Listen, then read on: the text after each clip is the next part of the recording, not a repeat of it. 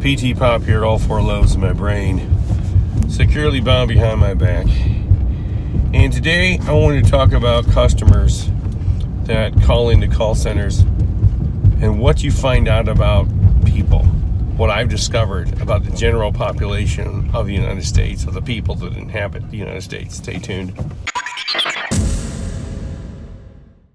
After all these years of working in call centers, I've done kind of a psycho psychological and sociologic study of the population of America because that's who I speak to. I don't speak to people in Mexico or Canada or Europe. And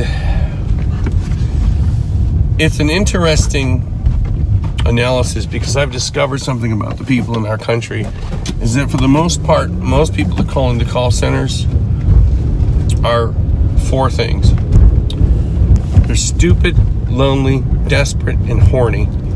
And they're also impulsive. So there's really five things. So stupid, desperate, lonely, horny, and impulsive. And I say stupid because people call in because it, without any knowledge about anything in their lives, some of them act like they don't even know their own names. I had a friend that worked for Progressive Insurance and he would give quotes to people over the phone in their call center in Cleveland, Ohio. People would call and say, I want a quote for car insurance. And he'd have a series of things he'd have to ask them in order to give them an accurate quote. One was the make and the model of their goddamn car. And people would be like, What do you need the make and the model of my car for? Well, he'd say, How the hell am I supposed to give you a quote if I don't know what kind of damn car you're driving, you moron? People are stupid. I say they're lonely because I would say 50% of the people you call in the call center just want to talk. You know, and I don't mean just the elderly people either. You get lots of lonely people to call in. It's like, well, my wife died three years ago, and I haven't been quite the same ever since. Now, I'm not making fun of people who lost a spouse or something like that, or a mother, or a sibling, or a brother, or a child, but you know, I'm sorry, people, we don't have time to sit and be your friend on the phone as much as I'd love to sit and talk with you. It's just not possible. But people just, they're, they're desperate, they're lonely, and they're horny. Oh my God. I had women. Now my voice is bad because I got the flu, but I had women call and said, "You know how sexy your voice is. I could listen to you talk all day." I was like, "Well, that's really great, hon. Um, is there anything else I can help you out with?" You know, and I've heard that about my voice as long as I've been doing this, but it doesn't pay the bills, you know. I know for a fact that I could start a phone sex line, but women don't call phone sex lines. Men do it. I have to talk to old fake, fat closeted the gay bastards on the phone. I'm not about to do that. Can you imagine how awful that job is? Hey, uh, I like your voice there, honey. Yeah. Uh, what are you wearing? I'm wearing uh, blue jeans and a Cleveland Browns sweatshirt.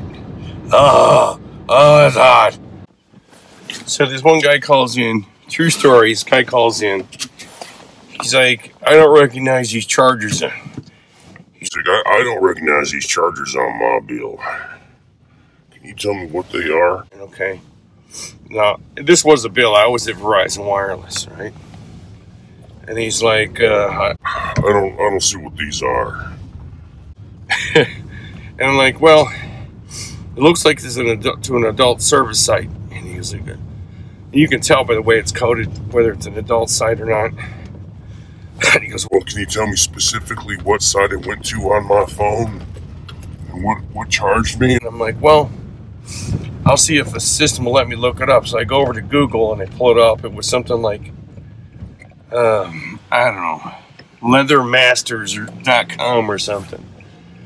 and it was like an S&M site for gay men. this guy's like, what, what, what side is it? And I'm like, oh, it's um, leathermasters.com. He's like, really? What's leathermasters.com? I'm like, well, it's a, looks like it's an S&M site, sadomasochist for gay men. He's like, really? He goes, uh, oh, uh, that sounds pretty weird. I don't know who would do that. I'm like, So what's that site about? Uh, can you tell me some more about it? And I'm like, look, dude, I, I, you know, what do you want? Uh, I want credit. Again, I want credit for the, the charges. I, I didn't go there. Like, sir, there's no way that we randomly charge your cell phone bill for a leather masters. He goes, oh, okay, you know. you're right. I went there. I'm, I'm kind of into that. Okay, well, how can I help you out today? Can Can you give me credit for that?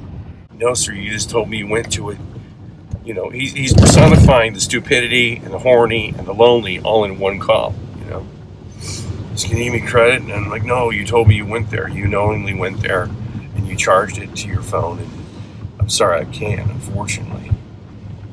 And I go, he goes, uh, sir, how, can I help you out today? What, how else can I help you out today? Well, I want your supervisor.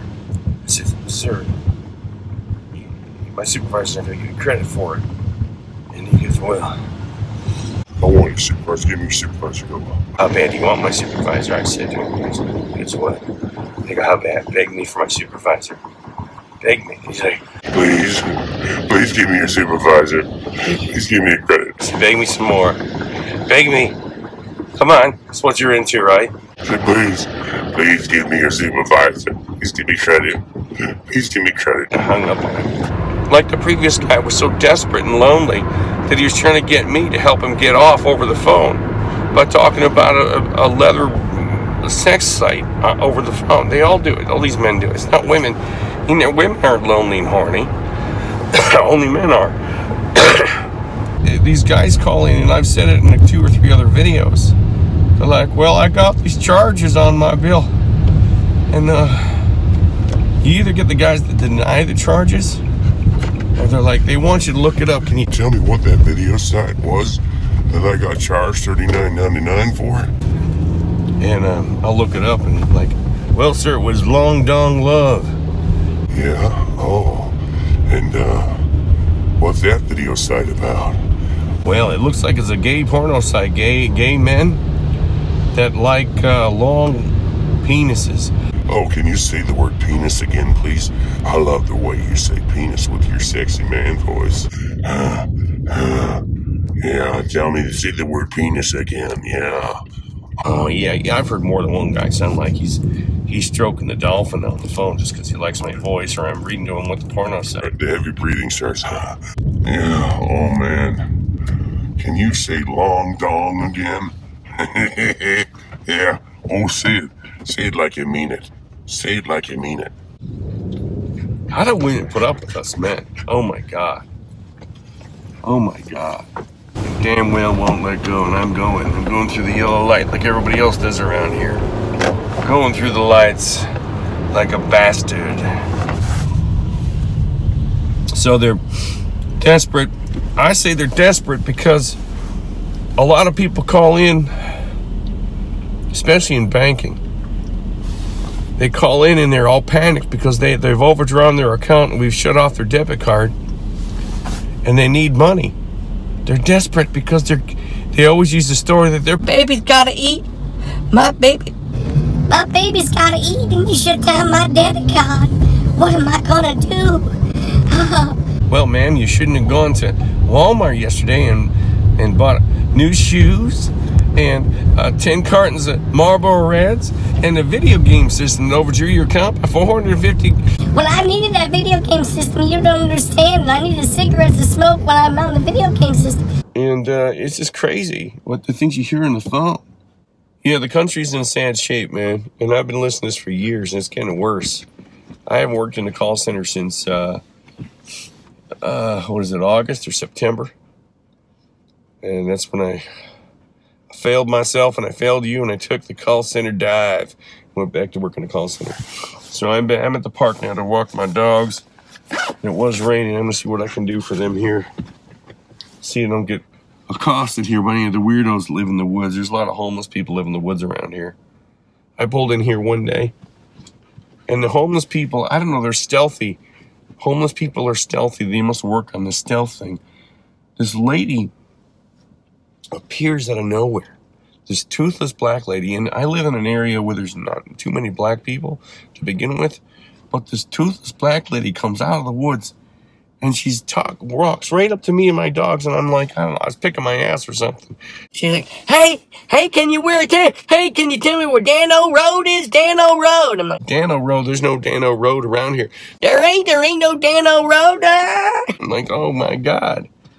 She's just like, ah. I'm like, Good Lord, lady, go back in the woods and chew on a tree or something. Please leave me alone. All right, PT Pop ain't off here. Have a good day. All visas ain't.